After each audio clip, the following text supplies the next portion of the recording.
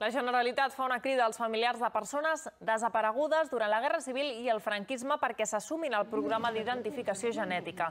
Els parents que ho desitgin han de facilitar una mostra d'ADN que es creu amb les dades genètiques de les restes localitzades. Fins ara s'han identificat 16 persones i volen també poder trobar familiars de brigadistes internacionals que puguin estar a fosses comunes.